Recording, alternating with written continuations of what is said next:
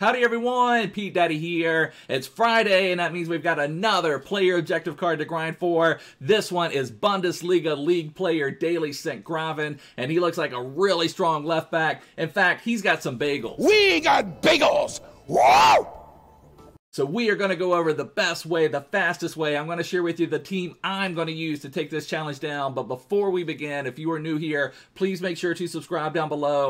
I'd really appreciate it. So this one has five different parts, and the first one is where the whole grind comes in. Bundesliga wins, win 15 matches using only Bundesliga players in the starting 11 and the live FUT-friendly managerial masterpiece. So we're back in managerial masterpiece, which is the one where you can only have a 77 squad rating so you really have to pick and choose what you want to take in. And like I said, I'll share with the team I'm going to use. But there is one thing I want to point out. This season of this is for a season card. So we have 27 days. If you look in the top right, this one will ex will expire at the end of season three. 27 days, 21 hours. However, there is one potential problem, but I'm assuming EA will fix this. Managerial Masterpiece only has six days and 21 hours left. So they have re-upped it once before, but they didn't wait for it to go all the way down to zero when they did it last time. So I'm assuming they will fix it, but you just never know with EA. I just wanted to point that out that that could be a potential problem or something you want to keep an eye out for. But the first objective is pretty straightforward. But I will say that gives us an opportunity to help each other out. If you fall behind, there's no like playing matches on this one. So if you fall behind 2-0 early, then just leave. You know, there's no point in just trying to grind it out, trying to make a comeback in the 90th minute. Just leave, try again. Let's just help each other out on this one. We really can't play golden goal based on some of the other objectives, but I would say if you're down two goals, just leave, just get it over with. Because like I said, you some of the other ones you have to win four matches but play 10, so maybe it makes sense to just kind of stick around. This one is one where you just play to win 15 matches. So Let's just help each other out, make this as easy as possible. And that gets to the next one. Score 30 goals using Bundesliga players. And honestly, over the 15 matches, you should not have any problems getting the, the 30 goals because, you know, like I said, as long as people aren't leaving after one goal, if you score two goals per game with your Bundesliga players, that's going to be your 30 goals. And the next one is, is going to fall right in line. Assist 20 goals with Bundesliga players. The only thing I'll point out, just to be cautious of, I know a lot of you like to bring in Lone Maradona Uh, or loan Mbappe. Remember, they're not Bundesliga, so if you're banging in all your goals with Mbappe, and sometimes I see this, people will bring on loan Mbappe, score a hat trick with loan Mbappe, but they don't score with anyone else. So that if, unless they've already completed this or working towards it, then that may hurt them, make it take a little bit longer to complete some of that type of stuff. So just keep that in mind. You want to make sure you're getting goals and assists with Bundesliga players. Then we get into one. This is probably the hardest one of, of them all, but it's not the worst in the world. It's just, it can be frustrating. Sometimes it seems like you send in a cross that has no chance and someone gets on the end of it and bings it in, and you're like, oh my gosh, crosses are amazing. Then you can have 15 crosses that seem like perfect crossing scenarios the person on the other end of the ball is right there wide open and they head it over the goal, they head it wide of the goal. So it's just, there's no consistent way. Probably the best way for me is low driven crosses. And that's basically if you're making a run with like your right winger and left winger, and say you're dribbling up with your right winger and they do a low driven cross, which low driven cross would be holding the RB our R1 button and then powering up your cross. You want to get a pretty good power, you know, three, four bars of power on that, get a good bit of power on it. And then on the other end, they'll just kind of volley it in. That's probably the most consistent way for me. Usually what happens for me on these though is say if I'm up two or three goals late, I just start hoofing in crosses, hoping somebody gets on the end of one of them. But you will get it. Just just keep it in mind. It's one of those things. Just don't play for you know ten matches and be like, oh yeah, I've got to get crosses, and then you're kind of in a pickle because you have to get four. You have to win five, but in four of those wins, you need crosses in those games. So just keep that in mind. Make sure you're getting your crosses. Worst case scenario, message your opponent before the match. Say, hey, can we trade crosses? I'll give you a cross, you give me a cross, and then we'll just play and, and see what happens if you're having any trouble doing that. But like I said, over the 15 matches, I'm sure we'll be able to do it as long as we just think of it. And that's the same thing on this next one. Score a finesse goal using Bundesliga players in six separate matches. This one is not really a problem. It's just I hardly ever think to do finesse goals out except for certain scenarios. If I've got in the finesse to do a finesse shot, it's also holding RB or R1, but this time you'll hit the shoot button. And that kind of does that like side foot uh, animation where they'll kind of try to curve it around the keeper basically. And this works perfectly. It's just a lot of times if I'm in that spot where a finesse shot would work or a power shot would work, I generally just opt for the power shot. So it's just one of those you got to just keep in your mind. Oh yeah, I need a finesse shot. Oh yeah, I need a finesse shot. And so when you're in that good scoring position, just make sure you're hitting that finesse shot modifier and it will count as a finesse goal. It doesn't have to be that one, you know, you're kind of like on the edge of the box and then just do that beautiful like normal finesse shot. It can be like even if you're three inches from the keeper and you do that finesse shot modifier, it will still count as a finesse goal. So let me share with you the team I am going to use to take this challenge down. And I didn't opt for any just super attackers. You know, it kind of just goes but with the flow based on what is in each individual league.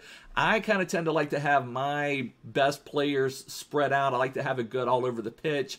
Now, if this was one where we could play golden goal, I would maybe say, yeah, you want to get somebody really strong in the team. But this is what I'm recommending up top, and I'll probably, what I will do is I'll probably put Leon Bailey up top. Leon Bailey is a phenomenal card, 94 pace, he's got 4-star, 4-star, high-low work rates, very quick, pretty good agility. You know, you could put a finisher on him if you really wanted to boost his agility and his shooting.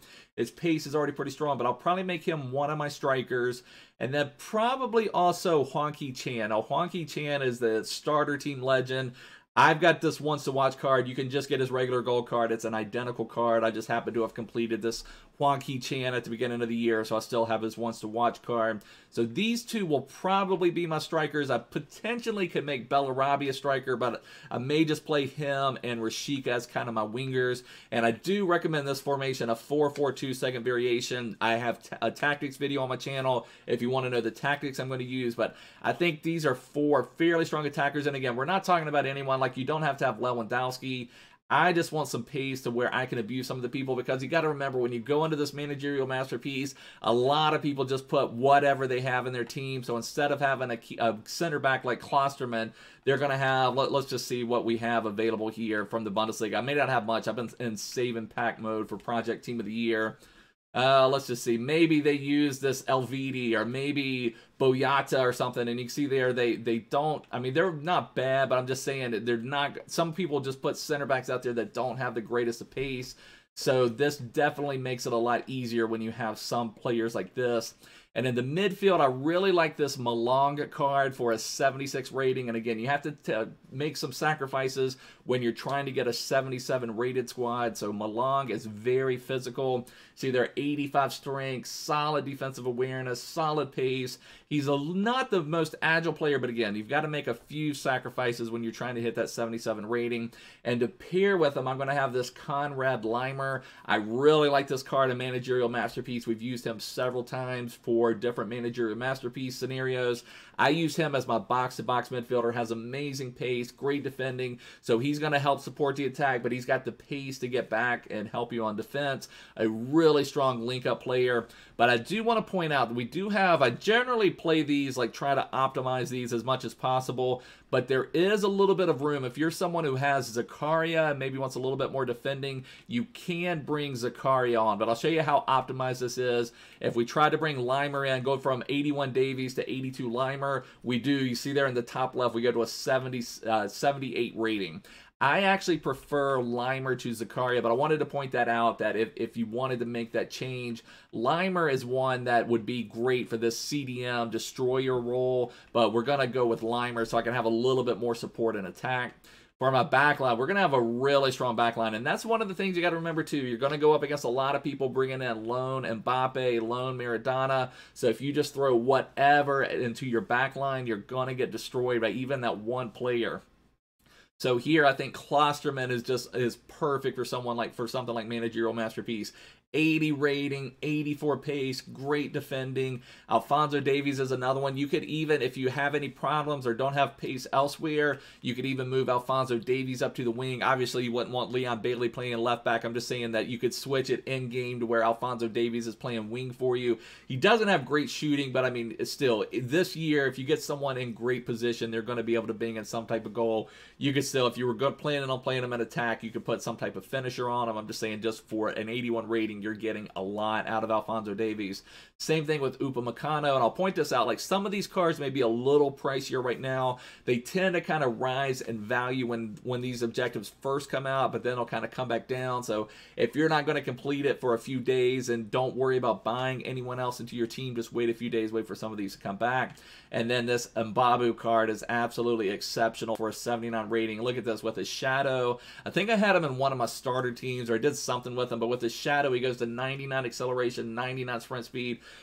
which is amazing for a managerial masterpiece scenario. So a great, great card to have. As far as keepers go, I just tend to look for, for height because if they're just going to be a cardboard cutout back there, I want them to take up as much cardboard as possible. So this Flecken is six foot five, so just works very great for a 75 rating. Now, one thing I do want to point out, I get this question every time after these videos. They're like, Pete, I put this team together and it says it's 80 rated.